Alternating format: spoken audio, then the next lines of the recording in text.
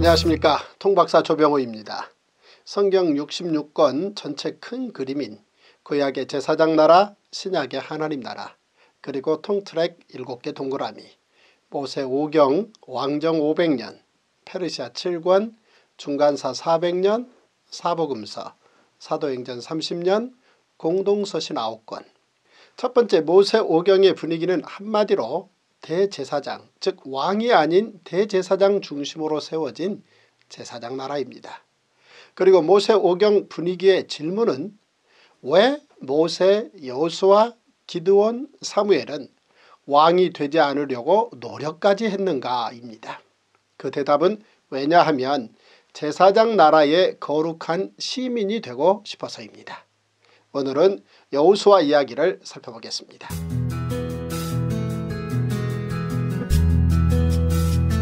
여호수아는 왜 왕이 되지 않으려고 노력했을까요? 모세가 이스라엘의 왕이 되지 않은 것도 놀라운 사실이지만 여호수아가 이스라엘의 왕이 되지 않은 것은 더 놀라운 일입니다. 왕은 민족과 나라가 존재할 때 필요한 사람입니다.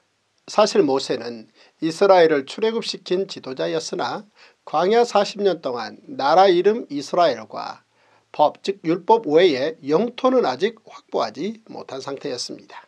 그리고 광야 생활 동안은 하나님께서 하늘 문을 여시고 직접 만나를 내려주셨기 때문에 나라의 기본적인 자산이라 할 수 있는 군량미조차도 확보할 수 없는 형편이었습니다.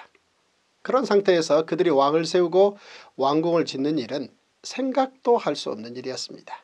그렇기 때문에 모세가 왕이 되지 않으려 노력하기도 했지만 만약 모세가 왕이 되었다고 해도 다른 나라의 왕들처럼 부와 명예와 권력을 한 손에 쥐지는 못했을 것입니다. 그런데 여호수아는 모세 때와 다른 상황입니다. 물론 애굽 왕자 출신 모세에 비하면 여호수아는 이스라엘 백성들과 같은 노예 출신이었지만 여호수아는 모세가 직접 세운 후계자였고 실제 가나안에서 전쟁을 이끈 총사령관이었습니다. 더 나아가 여호수아는 5년에 걸친 가나안 정복 전쟁에서 31번의 전쟁을 모두 승리로 이끈 상승 장군이었습니다. 이 정도면 세상 모든 역사를 통틀어 보아도 여호수아가 왕이 되는 것은 너무나 당연한 순리였습니다. 그런데 놀랍게도 여호수아가 모세의 길을 따라 걷습니다. 즉 왕이 아닌 제사장 나라의 거룩한 시민의 길을 선택한 것입니다. 그렇다면 왜 여호수아도 모세처럼 왕이 되지 않으려고 했는지 우리 자녀들에게 이야기해 주어야 합니다. 그래서 여호수아의 대표적인 전쟁 이야기인 여리고성 전쟁을 살펴보겠습니다. 모세가 죽고 여호수아가 이스라엘의 새로운 지도자가 되어 요단강을 건넌 후 첫 번째 치른 전투가 바로 여리고성 공성전이었습니다. 그런데 여리고성 공성전은 여호수아의 용기나 뛰어난 전략 혹은 전술로 이긴 전쟁이 아닙니다. 여호수아가 하나님께서 직접 주신 전략과 전술을 순종해서 이긴 전쟁입니다. 공성전은 다른 사람들이 이미 살고 있는 성을 빼앗는 것으로 전쟁 중에 가장 어려운 전쟁입니다.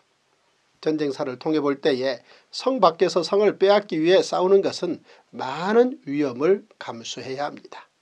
특히 성 바깥 아래쪽은 희생자가 가장 많은데 수성전을 하는 쪽이 성 위에서 성 아래로 돌이나 화살 혹은 뜨거운 물이나 기름들을 내리붓기 때문입니다.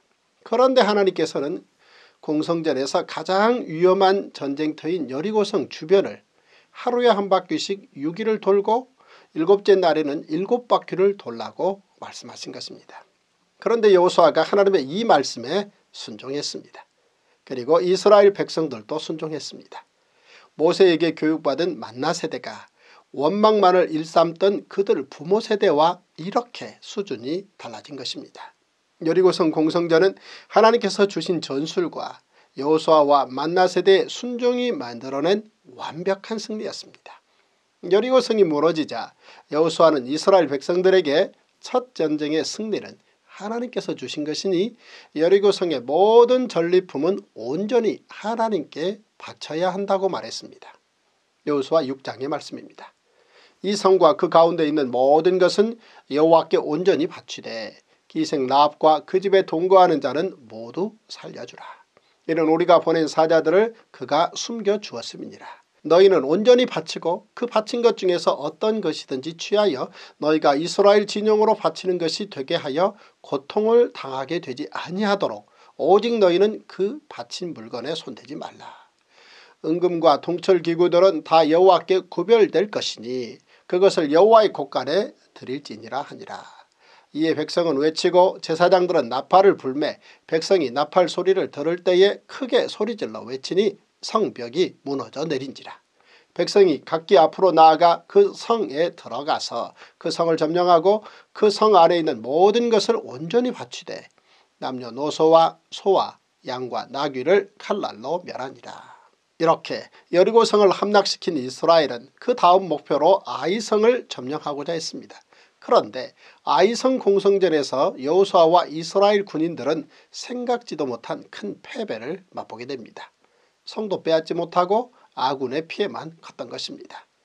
여호수아가 아이성 패배의 이유를 조사해보니 문제의 원인은 아간에게 있었습니다. 아간이 여리고성의 전리품 가운데 일부를 감추어 두었던 것입니다.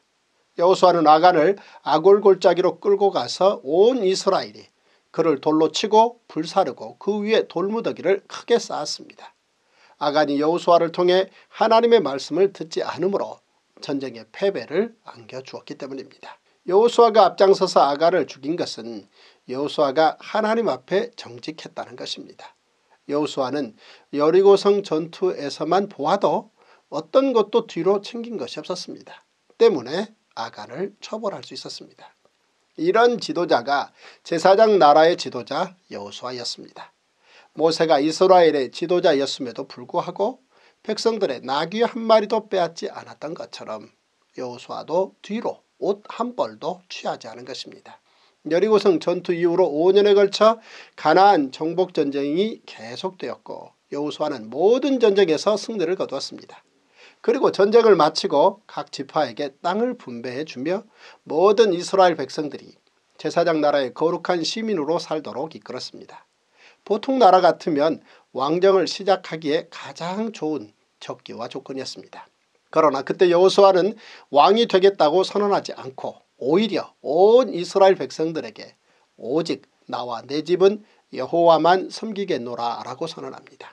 만일 여호와를 섬기는 것이 너희에게 좋지 않게 보이거든 너희 조상들이 강 저쪽에서 섬기던 신들이든지 또는 너희가 거주하는 땅에 있는 아무리 족속의 신들이든지 너희가 섬길 자를 오늘 택하라. 오직 나와 내 집은 여호와를 섬기겠노라 하니 모세는 애굽에서 애굽 왕자로 왕정의 폐해를 지켜본 사람이고 여호수아는 애굽에서 노예로 왕정의 폐해를 온몸으로 경험한 사람입니다. 그들은 하나님께서 주신 제사장 나라가 왕 없이도 백성 한 사람 한 사람을 얼마나 행복하게 하는 나라인지를 알고 있는 사람들입니다. 왕정은 왕이 백성들을 자기 종으로 만드는 제도입니다. 하지만 제사장 나라는 하나님을 왕으로 모시고 온 백성들이 이웃과 이웃 사이에 나눔을 만들고 나라와 나라 사이에 평화를 만들고 하나님과 모든 민족 사이에 평화를 만드는 나라입니다. 그렇게 제사장 나라로 선택된 나라에서 거룩한 시민으로 산다는 것은 너무나 영광스러운 삶입니다.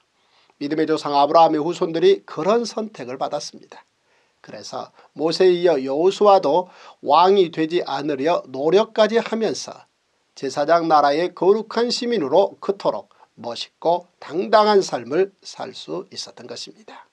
오늘은 통트랙 7개 분위기 중 모세 오경의 질문 왜 모세, 여호수와 기도원 사무엘은 왕이 되지 않으려고 노력까지 했는가. 제사장 나라 거룩한 시민 1호인 모세에 이어 제사장 나라 거룩한 시민 2호를 자랑하는 전쟁의 상승장군 여호수아를 살펴보았습니다. 이어서 다음 시간에는 기도원과 사무엘을 살펴보겠습니다. 기대하십시오.